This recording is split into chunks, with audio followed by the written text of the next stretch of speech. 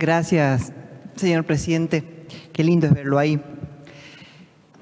Después de lo que dijeron mis colegas que antecedieron en la palabra, más el video que presentó el, Senado, simplemente agradecer al grupo de excombatientes de Malvinas que en diversas fechas en el departamento Güemes llevan a cabo charlas en distintas instituciones. A ellos y a todos, simplemente gracias.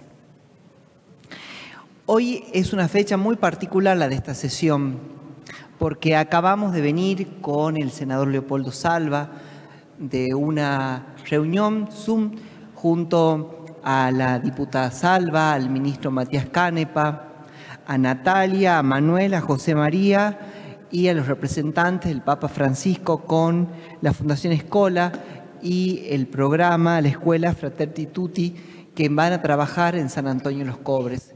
La emoción solo uno la puede ver en los rostros de Leopoldo, el senador, de Azucena, la diputada, y de esos jóvenes que van a trabajar en distintas actividades. Desde una situación difícil que han pasado, como es el suicidio, se puede concientizar, se puede trabajar y se pueden buscar formas para mejorar la vida de aquellos que son parte también del pueblo que nos representa y al que nosotros representamos. También, con mucha emoción, y le agradezco a mis colegas que firmaron el proyecto de declaración de interés provincial junto al senador Teno García, estuvimos en Joaquín B. González, más precisamente en la escuela 3114, donde se llevó a cabo el encuentro de EduCrea, las escuelas técnicas de la provincia, junto al supervisor Luis Bovetti, a docentes, alumnos. También eh, recordaron la labor y el acompañamiento que usted, senador Mayur, hace a las escuelas técnicas de su departamento. Y es bueno porque muchas veces desde el silencio nosotros hacemos un trabajo y que un docente o el alumno lo reconozca, hace a que trabajemos redoblando los esfuerzos.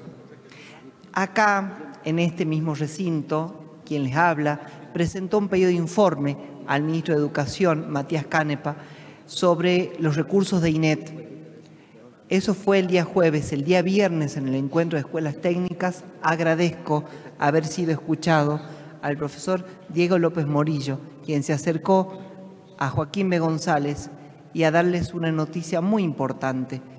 Las escuelas técnicas de la provincia iban a recibir recursos entre 700 mil pesos y 2 millones de acuerdo a cada escuela técnica para comprar insumos para que puedan desarrollar sus actividades, lo que acá expresaba yo a través de esa ley, y a su vez también para que sigan trabajando en lo que saben hacer los profesores de esas escuelas técnicas, los equipos directivos, los alumnos, que es mostrar lo que aprenden día a día. Por eso es importante resaltar la figura del ingeniero Matías, quien representa a CREA, y el trabajo que es fortaleciendo y aplicando la metodología CREA. El desafío aún es más grande ese día se eligió a la ciudad termal, a la ciudad de nuestro colega, el doctor Javier Mónico. El día 29 de abril vamos a estar ahí.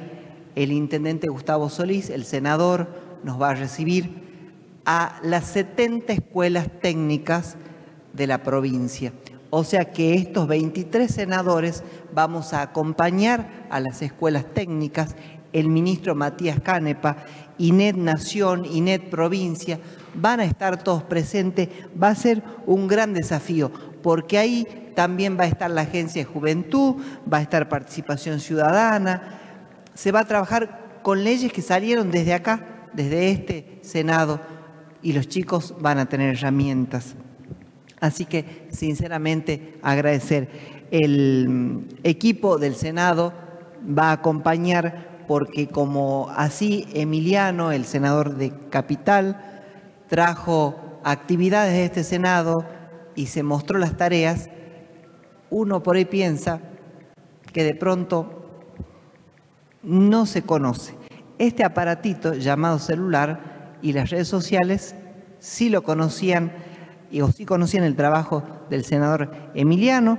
Los alumnos querían también verlo, así que y llevar esas actividades, así que tarea para el senador de Capital.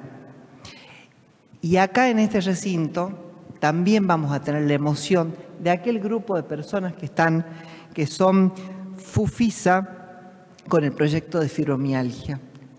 Es un orgullo cuando la comunidad, a pesar de haber tenido un problema, se preocupa por otras tantas personas que invisiblemente nosotros las empezamos a conocer cuando en las comisiones, que preside acá, por ejemplo, el doctor Pailer, se presenta un proyecto, lo trabajamos en comisión, agradecerle a la diputada Betina Navarro, que también estuvo, y a raíz de esas publicaciones que hicimos, mucha gente nos empezaron a llamar. Lo mismo que pasó con el proyecto de endometriosis.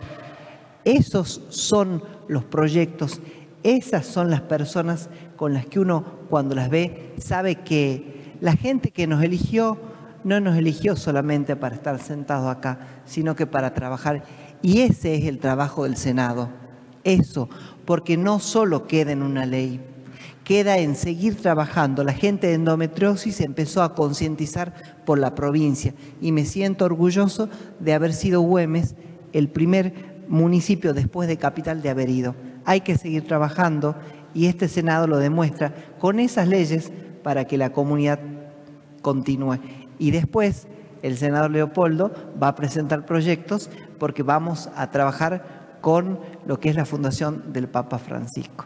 Así que también les mando el saludo de parte del equipo eh, que estuvo con el Papa porque dijo el Senado y ahí el senador Leopoldo con mucho efusismo pudo eh, decir, soy senador, represento a la provincia de Salta, y cuando uno lo siente así, la verdad, te felicito, Leopoldo.